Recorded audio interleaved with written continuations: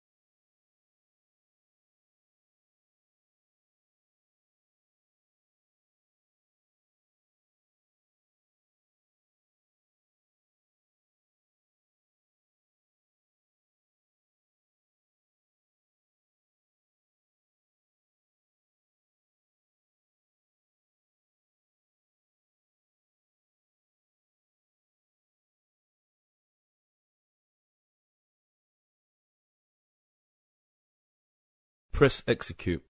If this executes successfully, the results window will read 1 rows affected. Repeat this step as shown in the lesson guide to add a further 3 customers. Notice that for some values we are entering the reserved word null. This is best practice when you do not want to store a value in a column, as opposed to entering an empty string using two single quotes.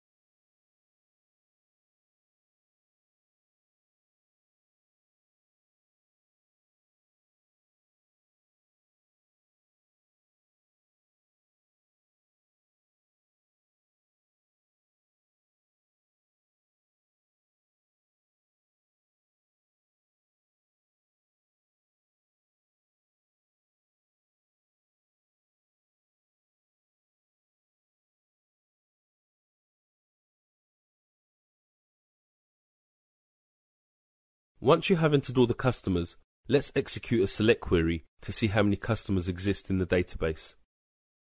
To do this, open a new query window and type select star from customers and press execute. You will notice in the results window that we do not have a customer with an ID of 2, as this customer was deleted in a previous lesson. Now that we have our customers, let's add some orders. Right click on the orders table then script table as, followed by insert to. Finally, select new query editor window. A new query window will launch with an insert SQL statement for the orders table. Amend the values in the insert statement as shown in the lesson guide.